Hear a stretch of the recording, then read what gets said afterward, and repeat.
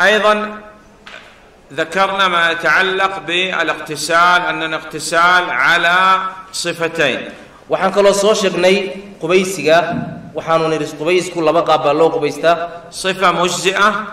قبيس كا يعني كا يعني كغفلا قبيس نمو وصفة مستحبة كاملة. إيو قبيس سنوة أوردما يسيرنا وقلنا أن في الاغتسال ينوي بقلبه waxaanu nidhi marka uu ruuxu qubaysanayo kow qalbigu ka nigaysanayaa yusami bismi illaahi buu odhanayaa yucamim jamiica albadan wamaa taxta ashucuur alkhafiifa walkahiifa jirka oo dhan buu biyaha ku wada camimayaa timaha usuusha yani usuushooda yani timaha jiridooda o dhan buu wada gaarsiinayaa maca almadmada walistinshaaq iyadoo luqluqasho iyo sandaarso ay la socoto. Mataa yajib alqtisaal goormuu qubaysku waajibayaa من يعرف؟ متى يجب على الإنسان أن يغتسل؟ قفك إنو ميدو قبيس واجبه أه، قرم واجبيا نعم. يقول خروج المني دفقا بلذه نعم. إن روح أي منذ كصوبحضو قاب يعني بلذه يعني درين. نعم. وكذلك الاحتلام. لو نام وخرج منه مني فهذا موجب للاغتسال. سيده سوق للروح اسوغو هردا مركي منيدا كتيمادو قويس با واجب والجماع قلموتكا وموت غير الشهيد اي انسان يموت لابد من تقصيل وتكفين الا الشهيد قف كستو دنتاي كل موت كل اي انسان يموت لابد ان يغسل كافر ومسلم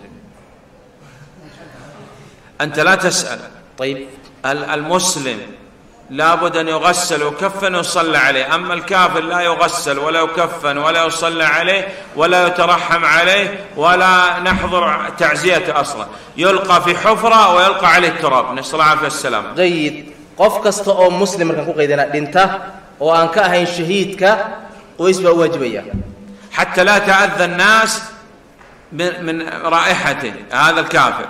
يعني أما المسلم يغسل ويكفن إلا الشهيد لا يغسل. مسلم هو لا دقيا ولا كفرينيا أما شهيد كلمه دقيا لكن كافرك اسك ولا أسيا. نعم. اذا يجب الغسل على كل ميت نغسله إلا الشهيد لا يغسل. اذا ميت كستا أو انت مسلم أه ولا لا دقيا وحنك أهين شهيدك وإسلام الكافر.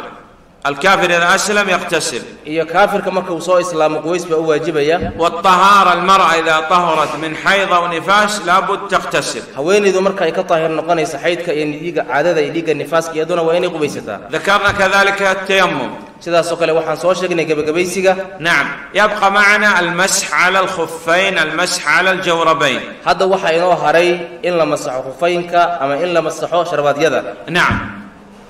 لابد أولا للمسح على الخفين أو الجوربين شروط. نعم.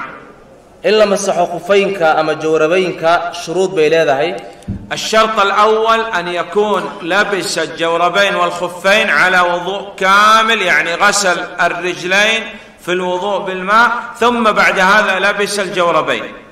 Waxaa shardi u ah xidhashada khufaynka iyo jawrabaynka ruuxa marka hore inuu daahir yahay macnaha weyseqaad dhammaystiran macal dhaqmada lugaha ay ku jirto uu qabo وأن تكون الجوربين والخفين طاهرة لا نجسة labada jawrabka iyo khufaynku ay ahaadaan daahir oo aanay najaaso ahayn وتكون ساترة لغالب العضو حتى ولو كانت خفيفة takuuna saatira ساترة يعني تغطي أغلب القدم حتى ولو بدا الكعبين يصح المسح عليهما. نعم.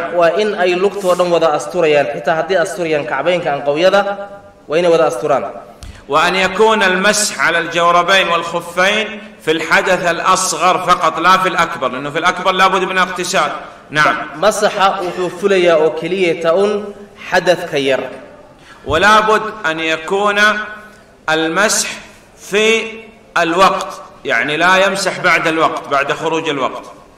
Wuxuu masaxayaa un ee, masaxa wuxuu imanayaa xilliga waqtiga laakiin waqti markuu baxa kadib maya والوقت عندنا للمقيم يوم ليلة يعني 24 ساعة waqtiga agtanada qofka muqiimkuna waa habeen iyo maalin وللمسافر ثلاثة أيام بلياليها لكن آه، يعني تساوي 72 ساعة تقريبا saddex cisho weeye iyo habeenadooda waxay la u dhigantaa buu yidhi toddobaatan laba saacadood نعم